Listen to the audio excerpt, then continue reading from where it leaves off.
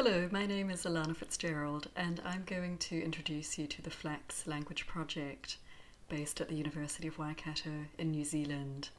So, there are quite a few videos um, talking about the different features within Flax. You can either follow them through one by one or you can dip in and out of the menu as you please. We hope you enjoy these training videos and that you come to our Flax website and try out some of the things that we have on offer for free.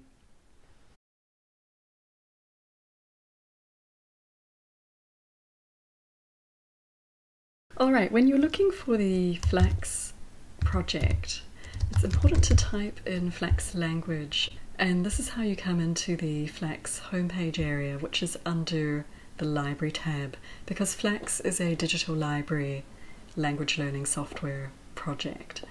Okay, so um, this is the Flax homepage. You'll notice that we have different types of collections. So Flax distributed collections are for um, those people who want to build their own collections um, using our software, here are the places where you can download the software.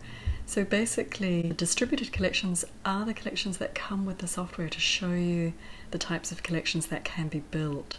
So we've got collections here for adults, um, the best of password. Um, so we've grouped these according to levels. Um, is a, a New Zealand project, so we've got a a few documents here about life in New Zealand. So here's one on Kiwi food.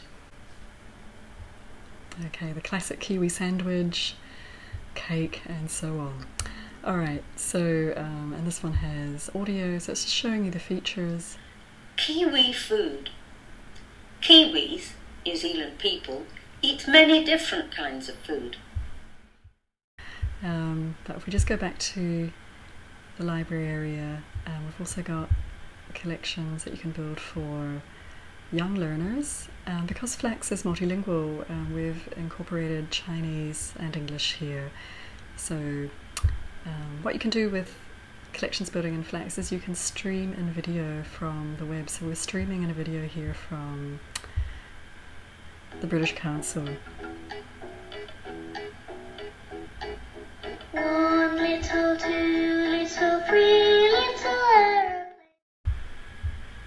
Okay, so this shows you the song in English and the translation in Chinese. And if we go back to that collection, you can see we have incorporated games, so matching images. Um, so here we've got a, a, counting game, and we've put the user interface into Chinese because um, for this collection uh, we were showing that you can build the collections within your own language, um, especially for young learners who are just coming to grips with English. So th this gives you an idea of um, some of the types of collections that you can build in Flax. Here we've got much more powerful collections, the resource collections. I'm going to take you through videos for these collections.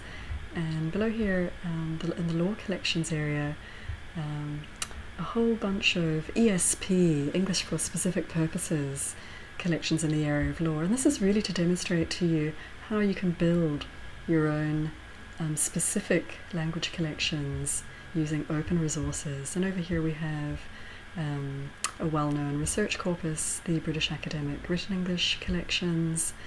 I'll, I'll explain more about those soon. And down here, collections created by registered users. So these are people like yourselves who want to build their own collections and they prefer to build them here on our website. And then we've got a few things going on over here in our research and development area. Okay, so that's basically the main page of Flax and I'll take you through the different collections one by one now.